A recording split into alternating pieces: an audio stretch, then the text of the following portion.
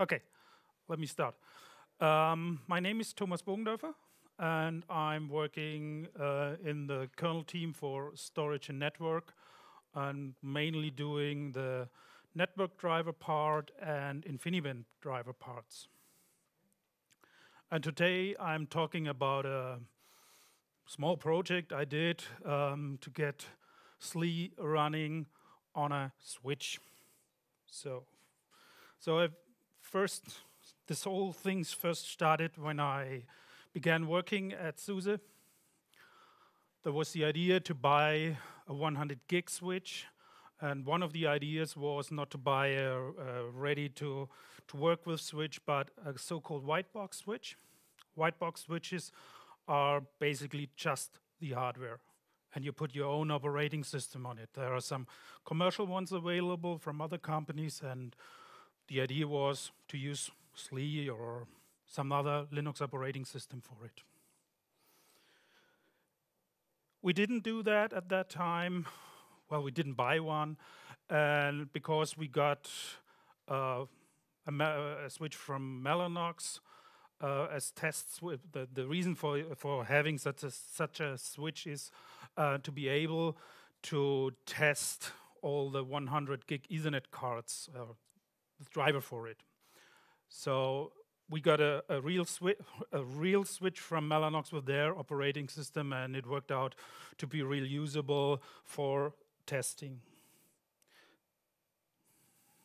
At a later stage, I was in a was in a in a a conference call with Mellanox, and Mellanox asked about is it possible uh, to get something from you which we can use uh, on our switches and gave to give to customers something like an SDK for switches. It didn't come out much uh, commercial-wise in that uh, out of that conference call, but we already had a spare switch, spare Mellanox switch, and I asked to send them send it to me. So I got an, an Mellanox SN uh, 2100 switch, which is a small switch, but it has 100, 100 gig Ethernet. When I connected it to the serial console and power, I observed this is basically a PC. It's starting a BIOS, and it has a PXE boot already running. So I added the machine to Orthos and installed SLE 15 on it, which worked out pretty well, at least from the point when you're looking at the x86 hardware. So everything is working there. Okay, fine. Uh, then I tried to use the switch, uh, looking at it, and it didn't work out pretty well. There were some missing pieces in SLE 15. So I put on my to-do list for SLE 15 SP1 to backport more stuff needed to use um, the Mellanox switch chip, which I did. So SLE 15 SP1 has basically everything I needed, uh, kernel-wise. And there were some things to solve, which I already noticed uh, when running SLE 15. Um, one of the problem was the switch driver complained about the firmware.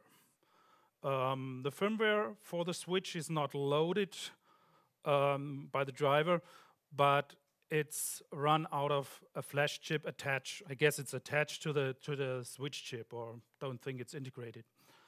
And the driver couldn't um, update. The, the driver wants to update it, but it didn't work out.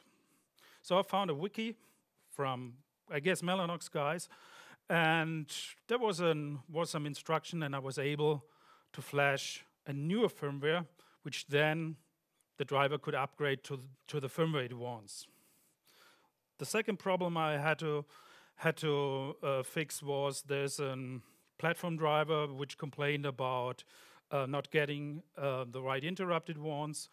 And well, the, the problem is that the ACPI code of the BIOS um, doesn't really allocate the, the interrupt correctly.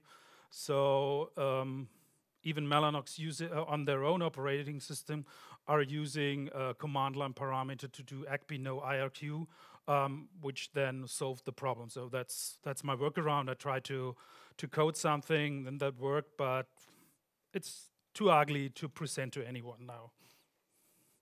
So in the end, or right now, I'm I'm I'm ready to use uh, the switch as a switch with SLE 15 SP1. That's the hardware. So that's how it looks like. It's just half size. It's not an, an full 19 inch. It's, it's just half size. It has a nice CPU for for a switch. I saw switches with some ARM something 32-bit, but that's an uh, it's a, it's a four-core Intel Atom core. It has enough memory. That's cool. Um, it has a well SLE-wise a little bit small um, SSD um, that's it's swappable, but it's uh, it's a short form factor, so I didn't have a, a, bigger one. But for for testing, 16 gig was enough. Yeah, the interesting thing to use it as a switch is the Mellanox Spectrum switch chip, which is connected via PCI Express, and it just has four lanes and it only has PCI Express generation two, which means uh, five gigabit per lane. Um, but that's a limit, not a limitation of the Spectrum chip, but of the Atom uh, core or the Atom uh, chipset. Yeah, then for a switch, that's the six. It has 16 QSFP 28 ports, um, which is a standard standard port for 100 gig Ethernet. And it was one management gigabit Ethernet port, which I used for PXE booting it. So, um, what do I need to use the Spectrum switch? Well, I already told you um, there there's a firmware which is distributed via Linux firmware uh, Git. Um, yes?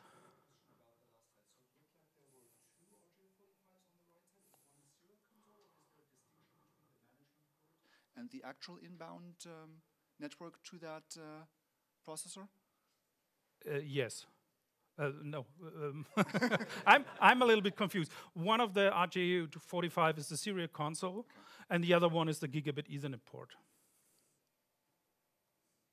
So uh, we need a firmware, which we already have. It's already included in SLE 15. And we need the uh, driver, the Linux driver for, for the switch chip, which is called MLX SW. And the even nicer thing, it's developed by Mellanox, and it's an upstream kernel, which makes things easy, really easy. And that driver uses SwitchDev as an offloading framework. Now, probably some of you have heard of SwitchDev, but what what is SwitchDev? How does it work? The concept is um, knowing other switch drivers uh, it's, it's really different. But looking at it, it makes sense. So every switch port, every outside switch port is represented as a net device. So uh, if you don't have any fancy udev rule, every port of the switch will show up as ETH-X number. In, in, my case, it comes up with ETH1 to ETH16.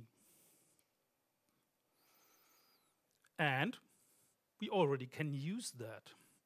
So I could do an IP address, IP link stuff. Uh, I could do even tcpdump on those links, on those net devices, on those interfaces, which is cool.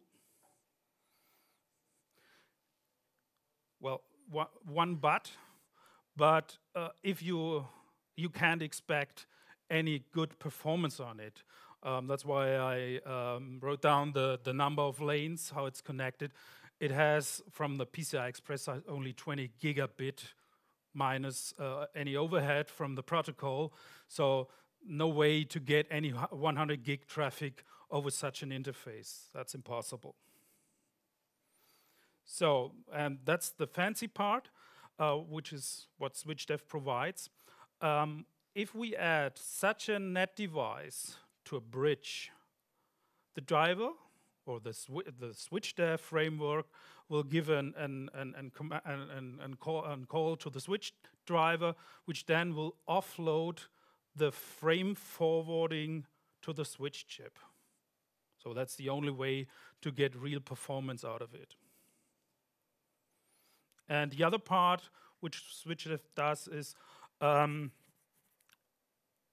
there are callbacks uh, which the switch driver calls, so we um, get the forwarding database updated. So every learning from the switch chip, which does it on its own, will be uh, done by a callback. So if we do a, a bridge show FDB, it will be up to date. So um, yeah, the other nice part about uh, the SwitchDev design is we use basically normal tools for configuring the switch and debugging problems like where is this MAC address located? So probably or, uh, most of you heard of at least four of them. So IP is common one, the bridge one, ethtool.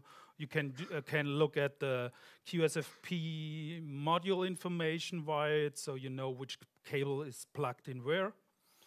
Um, the TC tool for configuring priorities and another feature inside the TC tool for the switch is configuring uh, monitoring.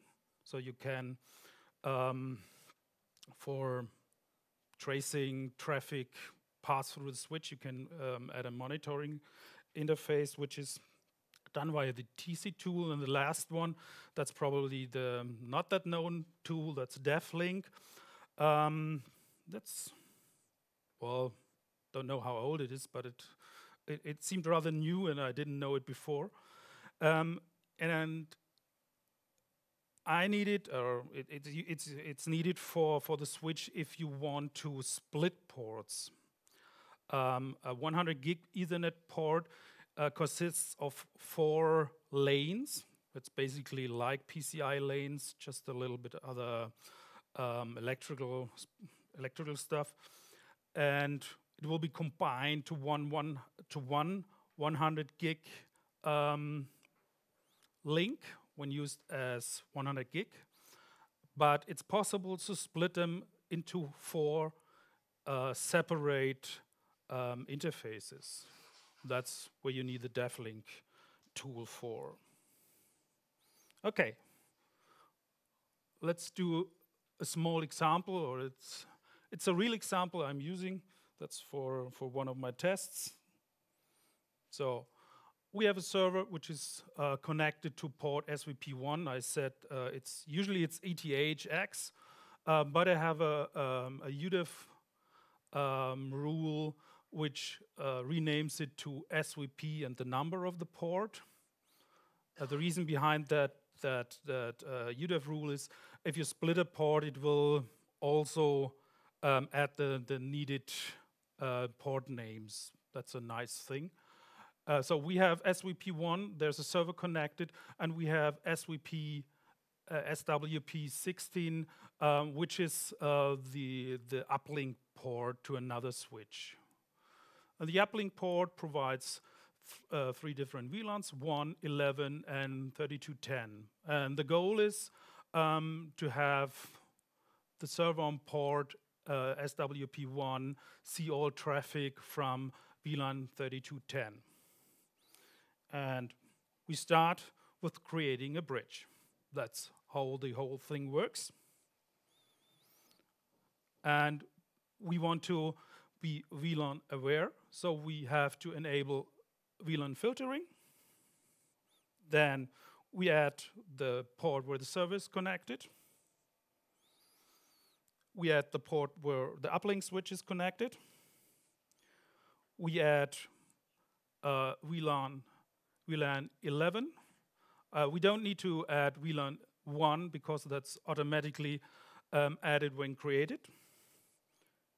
And uh, VLAN 3210. So that's for, for, for the uplink.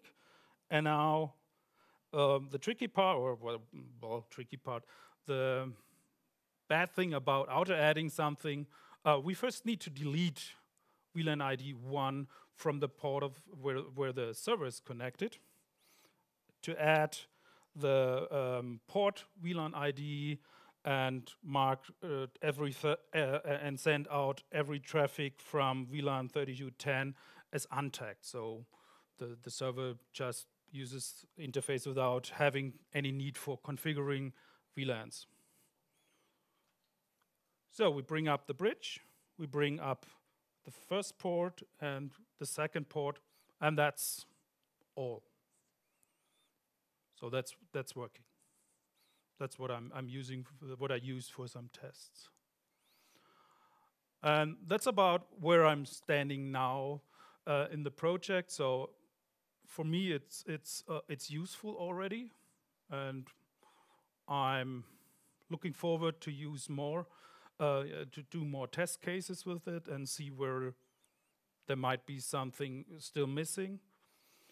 So I already have a few pieces missing. Um, the first one um, is that's open network install, install environment only. Um, that's used for, I guess, for all the white box switches. Um, that's an, an, an, an, an, open source based environment um, which is put by on, on to the switches by the manufacturers of the switches, and it provides a way to roll out software on such switches. It even has some some recovery methods. So if something messes up, um, you can go back to the ONIE and install it again. So I didn't. I I, I only looked at at um, at the documentation. I looked at the sources, and you basically need an Ubuntu or Debian system um, to do to, to, to get it working out of the box and I skipped that because at that point it wasn't that interesting, but it's doable um, with with for sure, for, with OpenSUSE I guess as well. Um, so that's doable, and depending if this is getting more serious needs from from product wise from SUSE, that's something to do.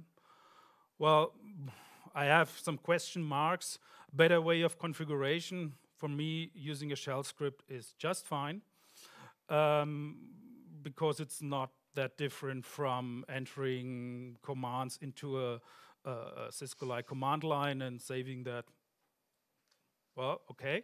Um, so usually switches have a command line interface, which, well, is used, or some web interfaces. That's that could be something which is missing.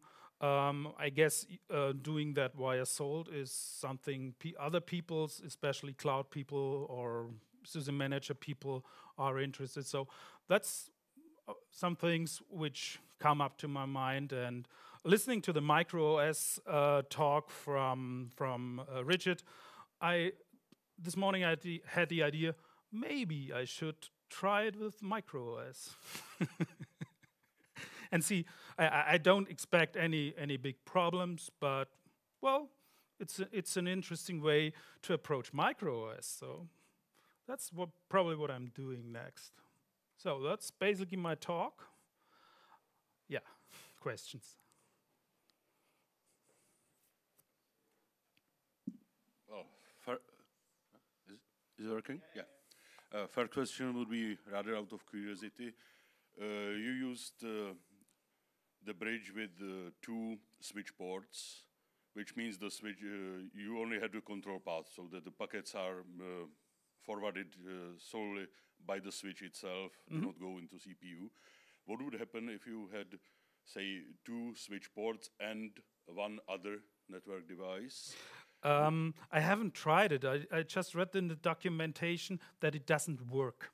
Ah. So you can only add switch port to the bridge. I, I don't know how this is this is prevented, but that's that's an that's an open thing I wanted to look at because, because if I want this is something people doing virtualization would be really interesting in. Yes, probably. yes, yeah. of course, yeah. I've playing with the um, Turris um, Omnia and Turris MOX um, switches. I think that's using a Marvell chip, and there I have experimented with a bridge that spanned both the switch chip connected ports and regular ETH port, and it worked. I did not do any performance analysis whether that you know moves you know um, counteracts the the offloading to the switch chip or something. But in theory, it should be possible. Okay. Well, what I was mostly interested in, uh, interested in would be if it was uh, smart enough to uh, forward traffic between the switch ports only in the switch, but the traffic that would need to go into the I, I would itself, expect yeah, uh, that it works that way, or I hope it works that way, but I need to test that. Oh, and another question was if you did already uh, uh, did some experiments with uh, more recent kernels, uh, meaning mostly uh, with the perspective of SLE 15 SP2 being 5.3 based, because I know that Mellanox was very active in uh, upstream and did a lot of work on SwitchDev and on devlink and things like that. So Uh, The the the version in in in SLE uh, in- in 15 SP1 is about 5.0 5.1. That's uh, what I already back. 412. Hmm? Sorry. Uh, kernel 412 is SLE 15 SP1. Right, but the driver is out of Ah, yeah, there is. 5.0 5.1 about that range. I can't remember uh, out of my head. So I already backported lots of stuff. So um, well, I will test, of course, SP2, and I wouldn't expect much problems there.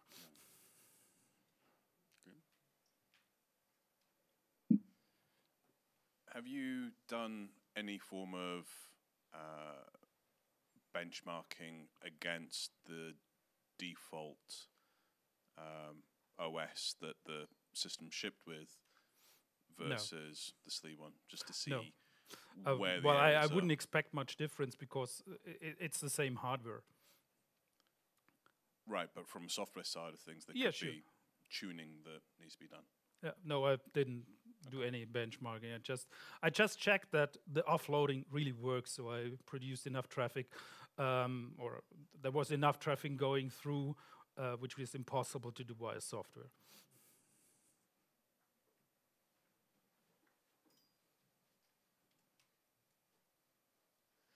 Uh, Did you test if it's possible to use the interfaces as if they were kind of local interfaces, like adding an address to them and, and listening and Yeah, I, I did. That was, that was, in fact, that was the first thing to do. So I just put an IP address in it and tried to pinging uh, something, and yeah, that's working.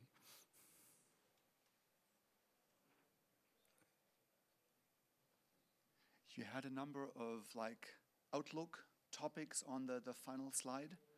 Um, Oops. yeah, Yeah. that one. So, um, are you in touch with someone about those topics? No. Maybe now someone will approach me. I don't know.